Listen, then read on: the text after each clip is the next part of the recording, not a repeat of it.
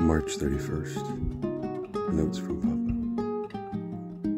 To my dearly loved child, who has the most special place in my heart, I want you to look at another very special and very important aspect of our relationship.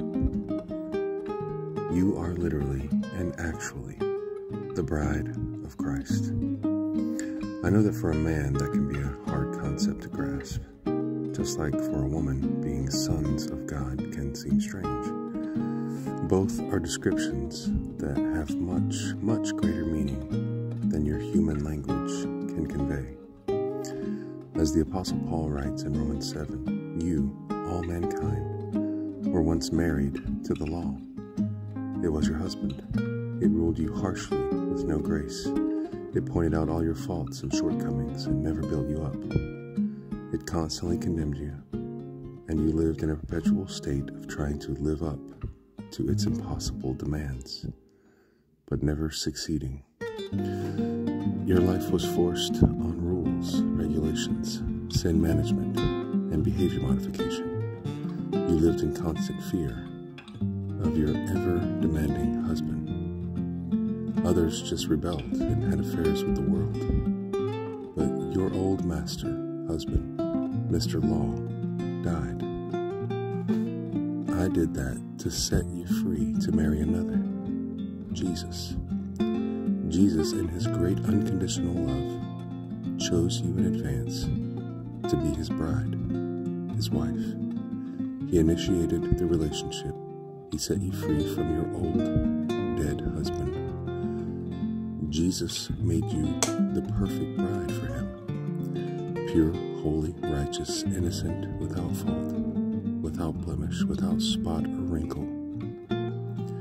And he has set you aside for him. Your old self, your old relationship to the law passed away and is no more. We created you new, born from above, a new creation literally born in Christ the Holy Spirit and I gave you new birth in Christ. We didn't leave anything to chance. This was our will. We took great pleasure in doing it. You have been the bride of Christ since the resurrection, when you were born from above with a new life in Christ. You have our DNA. You are made Christ's bride.